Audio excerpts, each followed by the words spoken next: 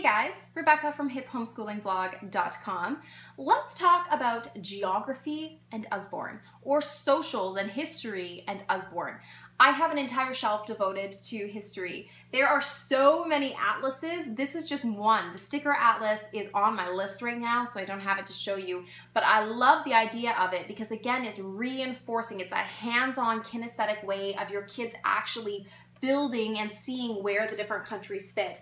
But this one, just as a reference one that your kids can look through, it's talking about different cultures and landscapes and landforms and landmarks and um, in different climates and temperatures and all around the world, different animals, uh, different languages. It goes through all of it and it's so visually appealing. This is the Big Picture Atlas. So I wanted to show you inside it to give you an idea of what it looks like inside. My kids love looking through it. And like with all Usborne stuff, there's tiny little bits of information. The Nile is the longest river on earth. It flows for 6,853 kilometers. So if your child is interested in stuff like this and you know they're going to look through the pictures and what's going to happen is they're going to stop and ask you questions or read this themselves and because it's not overwhelming, it's not a huge textbook, it's so visually appealing, it's going to be easily absorbed. So it's an awesome book, but other history books. I'm going to link to all of the different history.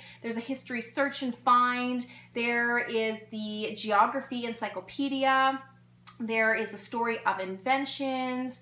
There is a ton of different atlases, different sticker books to help teach history. There are just a lot of resources available, not to mention all the beginner readers that are about historical events. So if you have any questions, check out the link I'm going to post in the description. You're going to get a huge list of history resources or email me at hiphomeschoolingblog at gmail.com.